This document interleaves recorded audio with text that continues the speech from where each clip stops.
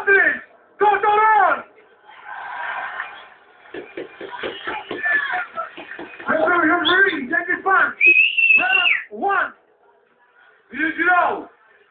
Evet sevgili seyirciler, inanın bu iki devi gördükten sonra ben ring kenarında korkmaya başladım. Bakalım bakalım ne olacak? Biraz önce Caner Erdem'den bir bilgi aldım. Bunlar soyunma odalarında kavga etmişler.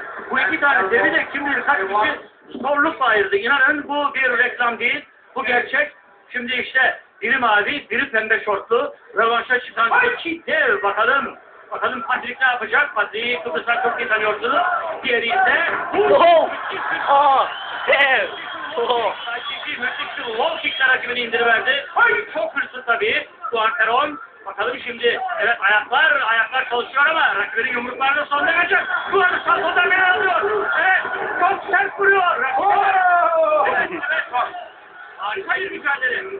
İki tane dev, iki tane dev bunlar sevgili seyirciler. Bakın. Darbeler geliyor, ayak darbeleri, diz darbeleri, sarılmalar ve de müthiş, müthiş bir kim var. Müthiş bir kim var onu da hissediyorum.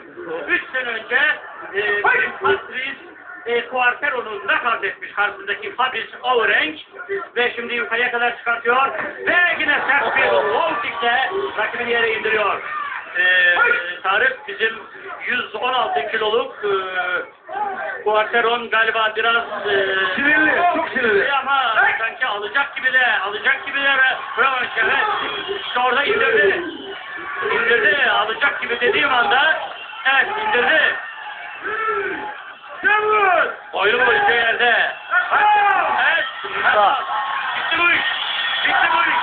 Bitti bu iş. İşte bakın. Quartero'nun Quartero'nun büyük seviyesi. Ay, Böyle söyledim. İki dev. Ben ürküyorum burada dedim. Ve öyle bir girdik oyuna. Yumruk yemedi rakibinden. Çünkü ötekinin yumrukları çok sert yumruk yemedi. Ve ringi terk etti gitti. Nereye gidiyor o? Seyircinin arasına gidiyor.